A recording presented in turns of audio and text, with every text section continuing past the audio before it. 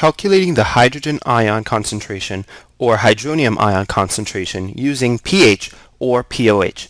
In this problem it says pOH of salt water is 6.050. What is the concentration of hydronium in the salt water?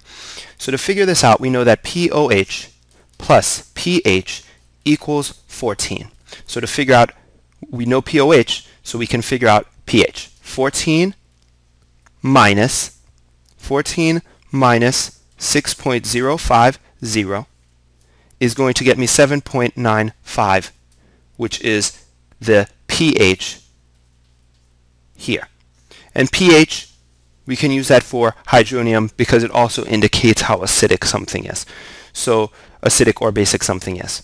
So 7.95 is the pH. And now we can use that to figure out the concentration of H3O plus ions in the salt water.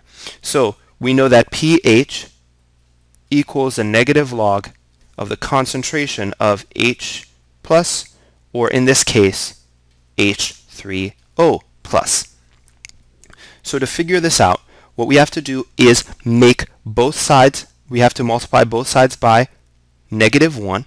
So this is going to become now the log, log of the concentration of H3O plus, and then this is going to be equal to the pH that we found earlier, negative 7.95. Remember, it's very important to remember to multiply both sides by negative. And now, to undo a log, you raise it to the 10th power. So when I raise this to the 10th power, I'm going to be left with on this, on the right side, is the concentration of H3O positive. And here, when I raise this, I'm going to have 10 to the negative 7.95 power.